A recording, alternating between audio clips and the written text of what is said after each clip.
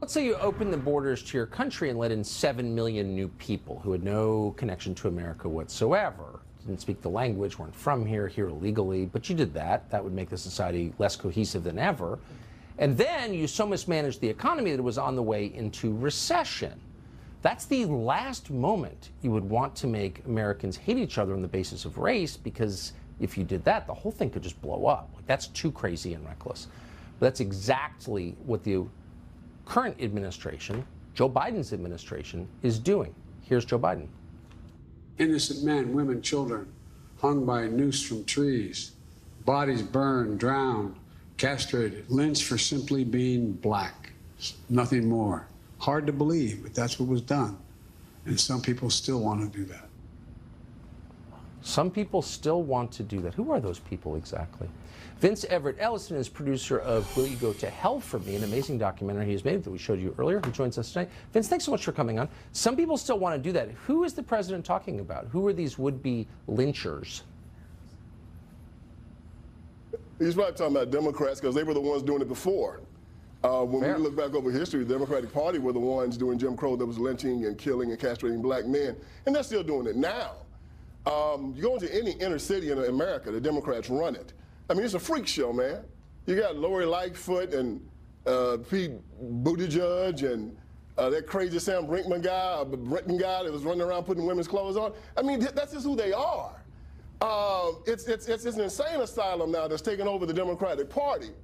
And we have to just start calling it exactly what it is. The Democrat Party heaven is an American hell. It is no doubt. You go to any big city and you see dysfunction.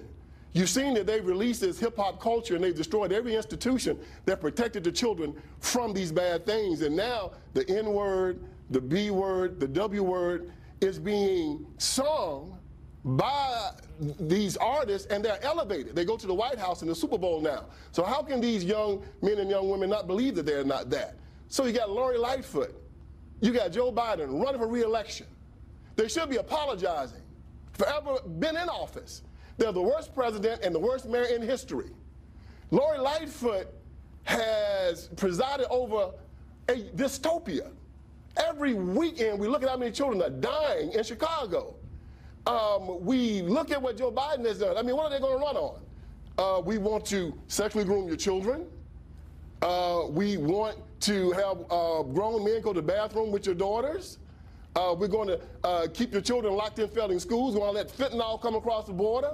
That's what. That's the only thing they can run on. So what do what do they say? They hate you because you're black, and we can protect you.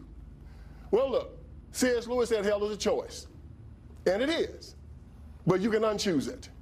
They talk about systemic racism and and uh, uh institutional racism. Well, if it is institutional racism, they are the ones that provide it because they run all the institutions in the black community. They run the schools, they run the churches, they destroyed them all. Yeah, it's institutional racism caused by them. They talk about white privilege. Well, let me tell you something. It is privilege to be white, and it's also a privilege to be black. It's a, it's a privilege to me to live in America. It's a privilege to me to be a Christian. And for the Christians in the ghetto, let me tell y'all, you can, you can come above this. You're an heir of Jesus Christ. You're a son of God. Nobody can oppress you. Nobody is better than you. There's no racism that can hold you down. Stand up, look at these people in the eye, and tell them who you are. You are an American. You're strong, you're resilient, and you'll get through this. Amen. Ignore what they say, watch what they do.